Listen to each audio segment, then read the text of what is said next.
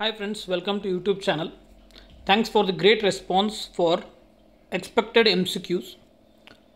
Yesterday I have uploaded video number 1. This is video number 2. ಇದು ಎರಡನೇ video ಆಗಿದೆ most expected questions for K A welfare officer ಮತ್ತು field ಇನ್ಸ್ಪೆಕ್ಟರ್ಗಾಗಿ ಒಂದು ಸಿರೀಸನ್ನು ಸ್ಟಾರ್ಟ್ ಮಾಡಿದ್ದೇನೆ ಅದರಲ್ಲಿ ಇದು ಎರಡನೇ ವಿಡಿಯೋ ಆಗಿದೆ ಮೊದಲನೇ ವಿಡಿಯೋದಲ್ಲಿ ನಾವು ಹತ್ತು ಕ್ವಶನನ್ನು ನೋಡಿದ್ದೇವೆ ಆ ಹತ್ತರಲ್ಲಿ ಯಾವುದಾದ್ರೂ ಒಂದು ಕ್ವಶನ್ ಆದರೂ ನಿಮಗೆ ಬರ್ತಕ್ಕಂಥ ಚಾನ್ಸ್ ಇದ್ದೇ ಇರುತ್ತೆ ಈ ವಿಡಿಯೋದಲ್ಲಿ ಐದು ಕ್ವಶನ್ಸನ್ನು ತೆಗೆದುಕೊಂಡಿದ್ದೇನೆ. ಇದು ಮೆಜಾರಿಟಿಯಾಗಿ ಇಂಡಸ್ಟ್ರಿಯಲ್ ರಿಲೇಷನ್ ಅಂದರೆ ಕೈಗಾರಿಕಾ ಸಂಬಂಧ ಮತ್ತು ಅದರ ವಿವಾದದ ಮೇಲೆ ಸಂಬಂಧವಿದೆ.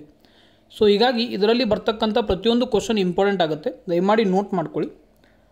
Let's begin video the first question is which of the following method is not incorporated under the industrial dispute act of nineteen forty seven they are asking which is not incorporated ಅಂದರೆ ಈ ಕೆಳಗಿನವುಗಳಲ್ಲಿ ಯಾವ ವಿಧಾನವನ್ನು ಕೈಗಾರಿಕಾ ವಿವಾದಗಳ ಕಾಯ್ದೆ ಹತ್ತೊಂಬತ್ತು ನೂರ ನಲವತ್ತೇಳರ ಅಡಿಯಲ್ಲಿ ಸಂಯೋಜಿಸಲಾಗಿಲ್ಲ, ಯಾವುದು ಅದರಲ್ಲಿ ಬರುವುದಿಲ್ಲ ಎಂದು ಕೇಳಿದ್ದಾರೆ. Options are collective bargaining conciliation arbitration and adjudication ಅಂದರೆ ಸಾಮೂಹಿಕ ಚೌಕಾಸಿ, ರಾಜಿ, ಮಧ್ಯಸ್ಥಿಕೆ ಮತ್ತು ನ್ಯಾಯ ನಿರ್ಣಯ ರೈಟ್ ನಾವು ಇಂಡಸ್ಟ್ರಿಯಲ್ ಡಿಸ್ಪ್ಯೂಟ್ ಆ್ಯಕ್ಟ್ ಹತ್ತೊಂಬತ್ತು ನೂರ ನಲವತ್ತೇಳು ಅಂದರೆ ಕೈಗಾರಿಕಾ ವಿವಾದಗಳ ಕಾಯ್ದೆ ಹತ್ತೊಂಬತ್ತು ನೂರ ನಲವತ್ತೇಳರ ಮೊದಲನೇ ಭಾಗದಲ್ಲಿ ಇದನ್ನು ಡಿಸ್ಕಸ್ ಮಾಡಿದ್ದೇವೆ. ಸೊ ಇದರ ಉತ್ತರ ಬಂದು answer number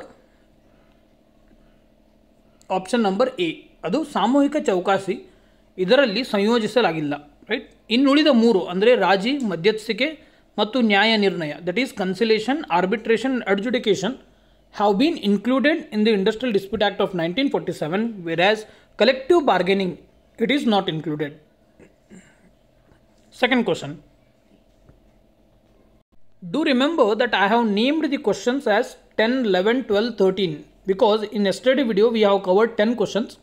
ಅಂದರೆ ನಿನ್ನಿನ ವಿಡಿಯೋದಲ್ಲಿ ನಾವು ಹತ್ತು ಕ್ವಶನನ್ನು ಕವರ್ ಮಾಡಿದ್ದೇವೆ ಅದರ ಪರ ಅದರ ರೀತಿಯ ಅದೇ ರೀತಿಯಾಗಿ ಇದನ್ನು ಕಂಟಿನ್ಯೂ ಮಾಡ್ತಾ ಇದ್ದೇನೆ ಹನ್ನೊಂದು ಹನ್ನೆರಡು ಈ ರೀತಿಯಾಗಿ ಸೊ ಹನ್ನೆರಡನೇ question till what period from the conclusion of the adjudication proceedings a workman cannot go on a strike under the industrial dispute act of nineteen forty seven ಅಂದರೆ ಕೈಗಾರಿಕಾ ವಿವಾದಗಳ ಅಧಿನಿಯಮ ಹತ್ತೊಂಬತ್ತು ನೂರ ನಲವತ್ತೇಳರ ಅಡಿಯಲ್ಲಿ ನ್ಯಾಯ ನಿರ್ಣಯ ಪ್ರಕ್ರಿಯೆಗಳು ಮುಗಿದ ಮೇಲೆ ಕೆಲಸಗಾರನು ಎಷ್ಟು ದಿನಗಳ ಕಾಲ ಮುಷ್ಕರಕ್ಕೆ ಹೋಗುವಂತಿಲ್ಲ ಅಥವಾ ಮುಷ್ಕರ ಮಾಡುವಂತಿಲ್ಲ ಎಂದು ಕೇಳಿದ್ದಾರೆ.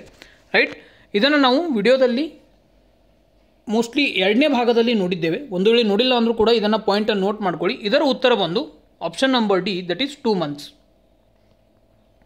third question industrial dispute may takes place due to ಅಂದರೆ ಕೈಗಾರಿಕಾ ವಿವಾದಗಳು ಈ ಕಾರಣಗಳಿಂದ ಉಂಟಾಗಬಹುದು. Options are wage bonus trade union recognition and all of the above ಅಂದರೆ ವೇತನ ಬೋನಸ್ ಟ್ರೇಡ್ ಯೂನಿಯನ್ ಮಾನ್ಯತೆ ಮತ್ತು ಮೇಲಿನ ಎಲ್ಲವು. ಸೊ ಈಗ ನಾವು ಕೈಗಾರಿಕಾ ವಿವಾದಗಳನ್ನು ನೋಡುವಾಗ ಉದ್ಯೋಗಿ ಮತ್ತು ಉದ್ಯೋಗದಾತರ ನಡುವೆ ಸಂಘರ್ಷಣ ಆಗಲಿಕ್ಕೆ ಹಲವಾರು ಕಾರಣಗಳು ನೋಡಿದ್ದೇವೆ ರೈಟ್ ಅದರಲ್ಲಿ ಮೊದಲನೇದಾಗಿ ನಾವು ವೇತನ, ಅವರ ವೇತನನ ಹೆಚ್ಚಿಗೆ ಮಾಡಬೇಕಂತೂ ಅವರು ಸಂಘರ್ಷಣ ಮಾಡ್ತಾರೆ. ಎರಡನೇದಾಗಿ ನಮಗೆ ಬೋನಸನ್ನು ನೀವು ನೀಡಿಲ್ಲ. ಒಂದು ವರ್ಷಕ್ಕೆ ಕನಿಷ್ಠ ಹನ್ನೆರಡು ತಿಂಗಳಾದ ಮೇಲೆ ಒಂದು ತಿಂಗಳ ಮೊತ್ತವನ್ನು ನೀವು ನನಗೆ ಬೋನಸ್ ಆಗಿ ಕೊಡಬೇಕೆಂದು ಎಲ್ಲ ಉದ್ಯೋಗದ, ಉದ್ಯೋಗ ಮಾಡುವವರು, ಉದ್ಯೋಗದಾತನ ಹತ್ರ ಸಂಘರ್ಷಣ ಮಾಡಬಹುದು. ಮೂರನೇದಾಗಿ ನೀವು ಯಾವುದೇ ಆದ ಒಂದು ಟ್ರೇಡ್ ಯೂನಿಯನ್ ಮಾಡಿದ್ದಲ್ಲಿ ಅದಕ್ಕೆ ಮಾನ್ಯತೆಯನ್ನು ಕೊಡುವುದಕ್ಕಾಗಿ ಉದ್ಯೋಗದಾತರಿರುವ ನೀವು ನಿಮ್ಮ ಪ್ರಶ್ನೆಯನ್ನು ಇಟ್ಟಿದ್ದು, ಇಡಬಹುದು. ಈ ರೀತಿಯಾಗಿ ಮೂರು ಕಾಲದಲ್ಲಿ ನಿಮಗೆ ಸಂಘರ್ಷಣ ಉಂಟಾಗುತ್ತೆ. ಸೊ ಇಲ್ಲಿ ಆನ್ಸರ್ ಬಂದು all of the above that is wage, bonus, and trade union recognition will lead to industrial disputes. Next, 14th question. Which one of the following is the last weapon in the hands of workers? ಅಂದರೆ ಈ ಕೆಳಗಿನವುಗಳಲ್ಲಿ ಯಾವುದು ಕಾರ್ಮಿಕ ಕಾರ್ಮಿಕರ ಕೈಯಲ್ಲಿರುವ ಕೊನೆಯ ಆಯುಧವಾಗಿದೆ right the answer here is strike option number D ಅಂದರೆ ಮುಷ್ಕರ ಒಂದು ಕೊನೆಯ ವೆಪನ್ ಆಗಬೇಕು. ಅಂದರೆ ಕೊನೆಯ ಆಯುಧವೇ ಆಗಬೇಕು. ಅದಕ್ಕಿಂತ ಮೊದಲು ಏನಾಗಬೇಕು? ನೀವು ಕನ್ಸಿಲೇಷನ್ ಮಾಡಬೇಕು. ಅವರೊಂದಿಗೆ ನೀವು ಮೀಟಿಂಗ್ ಮಾಡಿ ನಿಮ್ಮ ಪರಿಹಾರವನ್ನು ಕಂಡುಹಿಡಿಯಬೇಕು. ಈ ರೀತಿಯಾದ ಹಲವಾರು ವಿಧಾನಗಳಿವೆ. ಆದರೆ ನಿಮ್ಮ ಕೊನೆಯ ಆಯುಧ ಮುಷ್ಕರವಾಗಿರಬೇಕು. ಹಾಗೂ ಲಾಕೌಟ್ ಇದನ್ನು ಯಾರು ಮಾಡ್ತಾರೆ? ದಯಮಾಡಿ ಕಮೆಂಟ್ ಮಾಡಿ ತಿಳಿಸಿ ಲಾಕೌಟನ್ನು ಯಾರು ಮಾಡ್ತಾರೆ? Fifteenth question wildcat strike means ಅಂದರೆ ಇಲ್ಲಿ ನೋಡಿ ಕನ್ನಡದಲ್ಲಿ ಟ್ರಾನ್ಸ್ಲೇಟ್ ಮಾಡಿದರೆ ಈ ರೀತಿ ಆಗುತ್ತೆ. ಆದರೆ ನಿಮಗೆ ಈ ರೀತಿಯಾಗಿ ಕ್ವಶನ್ ಕೇಳೋದಿಲ್ಲ. ಇವನ್ ಕನ್ನಡದಲ್ಲಿ ಕೂಡ ನಿಮಗೆ ವೈಲ್ಡ್ ಕ್ಯಾಟ್ ಸ್ಟ್ರೈಕ್ ಎಂದರೆ ಏನು ಎಂದು ಕೇಳುತ್ತಾರೆ. ಸೊ ಹೀಗಾಗಿ ನೀವು ವೈಲ್ಡ್ ಸ್ಟ್ರೈಕ್ ವೈಲ್ಡ್ ಕ್ಯಾಟ್ ಸ್ಟ್ರೈಕನ್ನು ನೋಟ್ ಮಾಡ್ಕೊಳ್ಳಿ.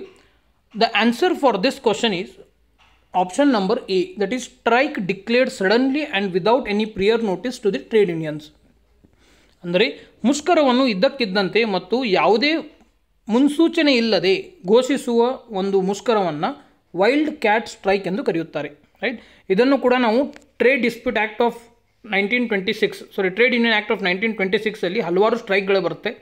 ಅಥವಾ industrial dispute act of nineteen forty ಸೆವೆನಲ್ಲಿ ಕೂಡ ಹಲವಾರು ಸ್ಟ್ರೈಕ್ ಬರುತ್ತೆ. ಅದರ, ಯಾವುದೇ ಆದ ಒಂದು ಭಾಗದಲ್ಲಿ ನಾವು ಇದನ್ನು ನೋಡಿದ್ದೇವೆ. ಒಂದು ವೇಳೆ ನಿಮಗೆ ಇದು ನೆನಪಿಲ್ಲ ಅಂದರೆ ದಯಮಾಡಿ ರಿವಿಷನ್ ಮಾಡಿ. ಯಾಕಂದರೆ ಎಕ್ಸಾಮಿನೇಷನ್ಗೆ ಇದು ಭಾಳ ಯೂಸ್ ಆಗುತ್ತೆ. ಇನ್ನು ಮುಂದೆ ಬರುವ ವಿಡಿಯೋದಲ್ಲಿ, ಈ ವಿಡಿಯೋದಲ್ಲಿ ನಾವು ಐದು ಕ್ವಶನನ್ನು ನೋಡಿದ್ದೇವೆ. ಮುಂದಿನ ವಿಡಿಯೋದಲ್ಲಿ ನಾವು ಹದಿನೈದು ಕ್ವಶನನ್ನು ನೋಡೋಣ. ಅಂದರೆ ಏನಾಗುತ್ತೆ? ಎರಡು, ಮೂರು ವಿಡಿಯೋ ಕೂಡಿ. ನಾವು ಟೋಟಲ್ ಆಗಿ ಟ್ವೆಂಟಿ ಕ್ವಶನನ್ನು ಕವರ್ ಮಾಡ್ದಂಗೆ ಆಗುತ್ತೆ ರೈಟ್ ನೀವು ಮೊದಲನೇ ವಿಡಿಯೋ ನೋಡಿಲ್ಲ ಅಂದರೆ, ಈ ವಿಡಿಯೋದ ಡಿಸ್ಕ್ರಿಪ್ಷನಲ್ಲಿ ಲಿಂಕ್ ಕೊಟ್ಟಿರ್ತೇನೆ. ದಯಮಾಡಿ ಅದನ್ನು ನೋಡಿ. ಹಾಗೂ ಈ ಪ್ರತಿಯೊಂದು ಎಕ್ಸ್ಪೆಕ್ಟೆಡ್ ಕ್ವಶನ್ನಿನ ಒಂದು ಕಂಪ್ಲೀಟ್ ಸೀರೀಸನ್ನು ಮಾಡ್ತೀನಿ. ಅದನ್ನು ಒಂದೇ ಪ್ಲೇಲಿಸ್ಟಲ್ಲಿ ಹಾಕಿ ಅದನ್ನು ಎಲ್ ಟೆಲಿಗ್ರಾಮ್ ಚಾನಲ್ನಲ್ಲಿ ಶೇರ್ ಮಾಡ್ತೀನಿ. ಹಾಗೂ ಇದರ ಪಿ ಡಿ ಎಫನ್ನು ಇಂದು ಸಂಜೆಗೆ ಟೆಲಿಗ್ರಾಮ್ ಚಾನಲಲ್ಲಿ ಶೇರ್ ಮಾಡ್ತೀನಿ if at all you are new to the channel please do subscribe the channel and if you like the video please hit the like button and share with your friends thanks for watching the video have a nice day bye